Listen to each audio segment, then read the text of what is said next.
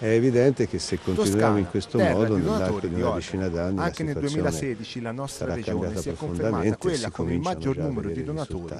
Piatto forte dei 53,3 lavori che dovranno finire entro il abitanti, 2020 più del sono le casse di espansione di. Figline, finanziate con 90 milioni di euro e progettate per contenere 25 milioni di metri cubi d'acqua. Una soluzione integrata che è stata eh, progettata anche per risparmiare suolo, perché anziché avere il tamponamento della cassa di espansione e il rilevato stradale separati, in questo modo ci risparmiamo suolo e ottimizziamo anche le risorse per questi due importanti interventi. I lavori per la prima cassa di Figline, visitata dalla delegazione regionale, si integrano con quelli che riguardano la nuova strada regionale 69. Sono quelle opere attese da 50 anni, 50 anni sono passati dall'alluvione e purtroppo in questi 50 anni sono molti i Altro dato tempi che invece positivo è dobbiamo recuperare.